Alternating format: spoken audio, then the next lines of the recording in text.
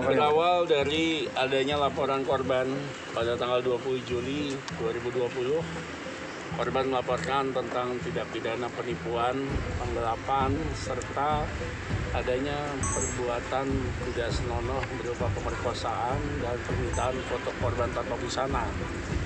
Kasar Reskrim membentuk tim dipimpin Kasar Reskrim dan juga Kanit Opsnal, Kanit User melakukan penyelidikan terhadap kasus ini.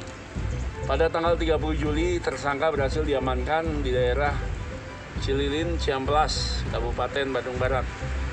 Pelaku atas nama Suherman, umur 24 tahun, mengakui perbuatannya berupa penipuan, penggelapan, serta pemerkosaan terhadap korban sebanyak 11 orang.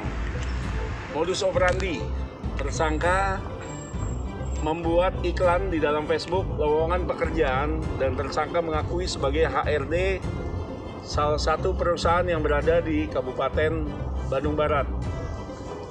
Dan di sana akhirnya mereka bertukar nomor telepon WA ya diikuti oleh beberapa orang Facebook tersebut disauti juga yang tertarik akhirnya mengikuti dan meminta nomor WA tersangka.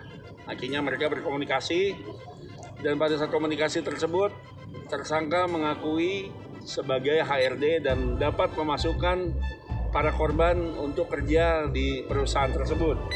Sehingga akhirnya korban terperdaya dan awalnya hanya dimintai uang sebanyak satu juta setengah untuk administrasi.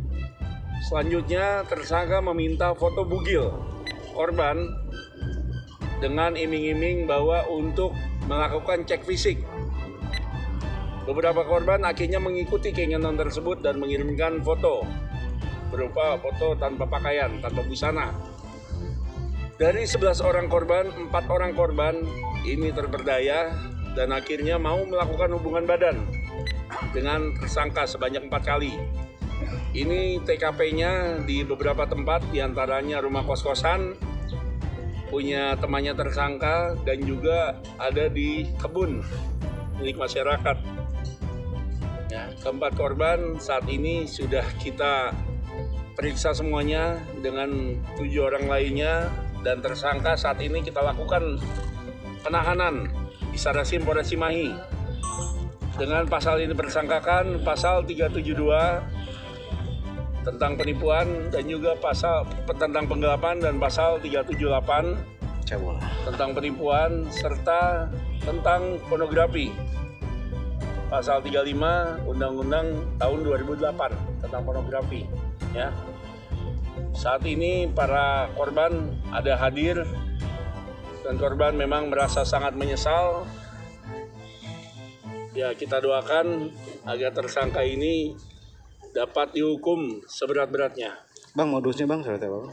Ya modusnya tadi sudah saya jelaskan, modusnya dia sebagai HRD salah satu perusahaan dan iming-iming dapat memasukkan korban untuk bekerja di sana.